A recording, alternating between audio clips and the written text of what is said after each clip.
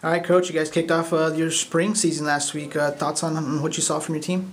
Um, you know, I thought for our, our, first spring game was a was a good outing. Uh, we have trained about maybe seven or eight times before the game, so um, you know I felt we did some things right. I think there's some details that we need to fix, um, and we'll continue to work um, each day to prepare for the fall.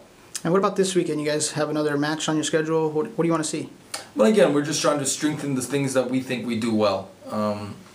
We're not really looking um, at weaknesses as much as just continue to emphasize what we do well, and uh, that requires um, fixing the details.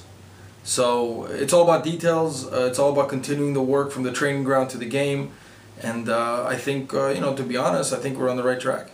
And what's the main goal? I mean, you, you mentioned you know getting the details right, mm-hmm. but throughout the spring to get ready for the fall, what do you what do you want to accomplish?